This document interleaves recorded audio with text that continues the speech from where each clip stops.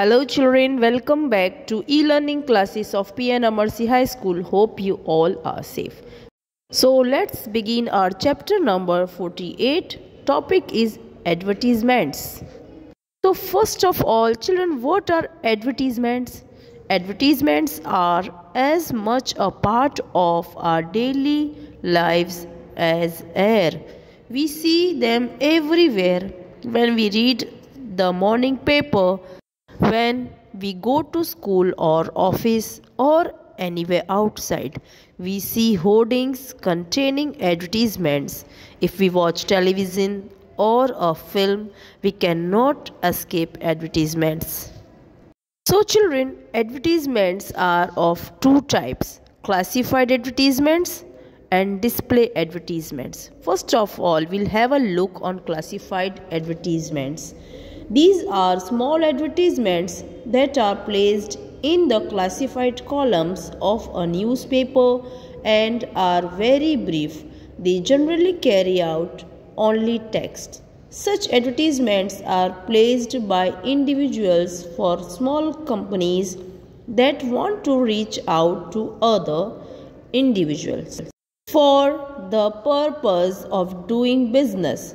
The person placing the advertisement has to pay per word, hence, they are very brief. Children, let's have a look on such one advertisement. Here, right now, I told you that these advertisements are very brief as a person has to pay for per word means each word so here there is advertisement for sale of a flat a person who want to sell flat has given each information but it is in very brief. A 2 BHK flat in Worli. Only serious buyers may contact. Brokers not welcome.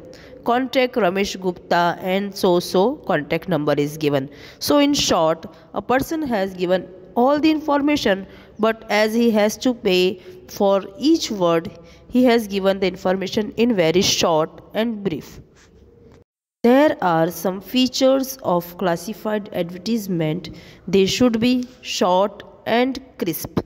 Like a telegram, it is short and to the point.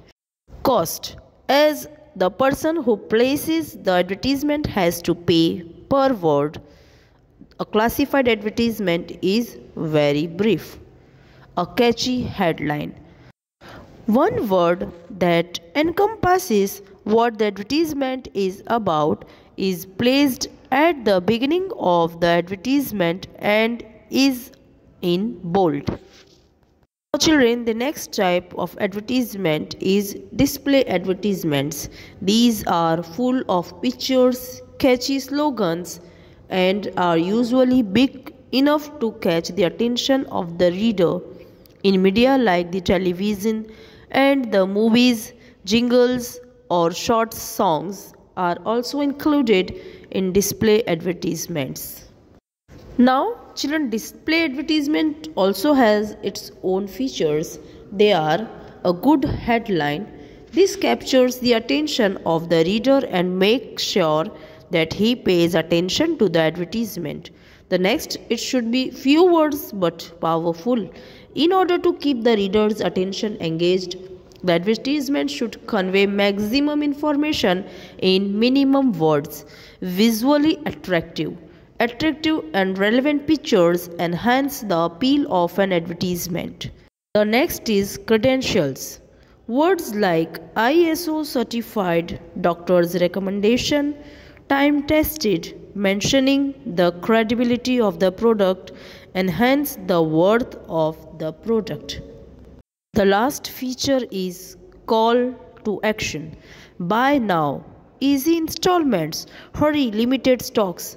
Such words as these ensures that the reader takes the next and most important step which is to buy the product. So children here very interesting activity is given for you. You have to write a classified advertisement for any of one topic you like. And the another one is you have to create a display advertisement. There are three. You do any one which you like. So these activity you have to do your own. Hope you all understood the chapter well. There will be no pdf of this chapter. You have to do your own pick up any of the topic from a classified advertisement and one from display advertisement and try your own. So children thanks for watching the video. Take care of yourself